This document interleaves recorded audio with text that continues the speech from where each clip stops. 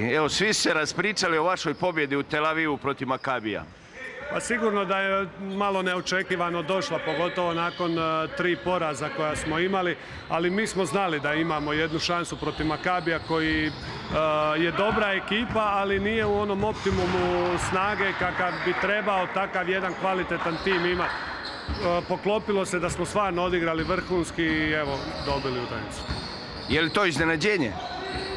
Pa kad gledate da je Makabi prvak Europe, da je to Nokia arena, 11.000 ljudi, da je ponos Izraela, s te strane sigurno da je ogromno iznenađenje, pogotovo što, kažem, mi smo imali 0-3. Ali s druge strane, u sportu je sve moguće i meni je drago da jedna naša ovako mlada ekipa, predvođena Ukićem, je vjerovala u pobjedu i da pače odigrala tako hrabro da moram priznati da smo mnogima pokazali da ipak vrijedimo. Je li to preokret e, u, Euroligi?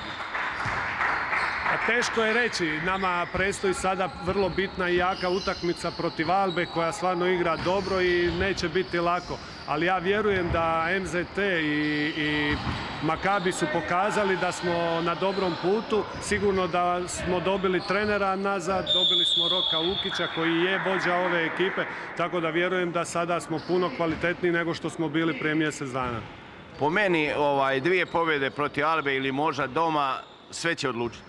Mislim da je jako bitno da mi gledamo sebe, da idemo iz utakmice u utakmicu, da poboljšavamo našu igru i sve drugo će doći. Nama top 16 nije primaran, ali sigurno da bi željeli proći ako nam se ukaže prilika.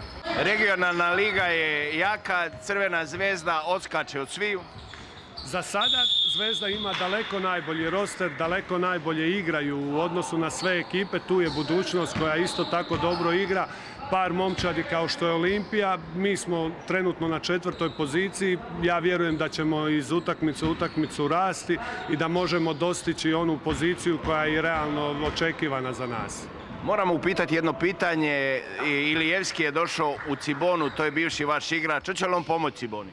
Pa vjerujem da ako su ga angažirali da vjeruju da će pomoć. Vlado je dobar igrač, igrač koji je prošao puno toga i sigurno da svojim iskustvom i radnom etikom koju on ima će dobro doći Ciboni.